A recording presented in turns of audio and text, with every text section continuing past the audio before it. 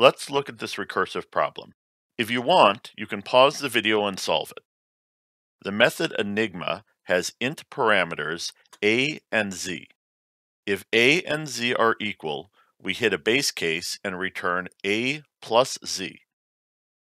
If a is greater than z, we get a recursive case and return a plus whatever is returned by a call to Enigma that passes a minus 2 and z. Finally, if it makes it down to the last line, it must be that a is less than z. We have an alternate recursive call that returns z plus whatever is returned by a call that passes a and z minus 1. Alternatively, I could have written it this way, and it would behave the same way. I find this second way preferable, but I want you to see the different ways a problem can be written. Let's say a call was made to Enigma that passes 8 and 3. 8 gets passed to the parameter a, and 3 gets passed to the parameter z. A frame gets pushed onto the stack. a equals z is false, so we continue on.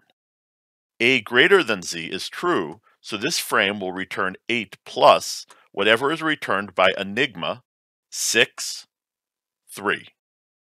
Enigma 6-3 is pushed onto the stack. A equals Z is false, so we continue on. A greater than Z is true, so this frame will return 6 plus whatever is returned by Enigma 4, 3. Enigma 4, 3 is pushed onto the stack. A equals Z is false, so we continue on. A greater than Z is true, so this frame will return 4 plus whatever is returned by Enigma 2, 3. Enigma 2, 3 is pushed onto the stack. A equals Z is false, so we continue on. A greater than Z is also false, so we continue on. This frame will return 3 plus whatever is returned by Enigma 2, 2. Enigma 2, 2 is pushed onto the stack. A equals Z is true.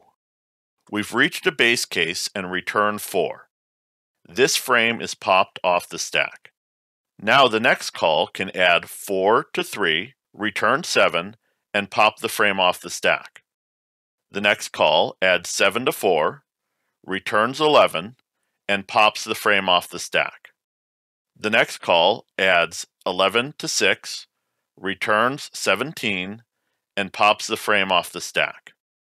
Finally, this call adds 17 to 8 and returns 25. The initial call, Enigma 83, has returned 25. If you want to learn more, click on the thumbnail for the next video.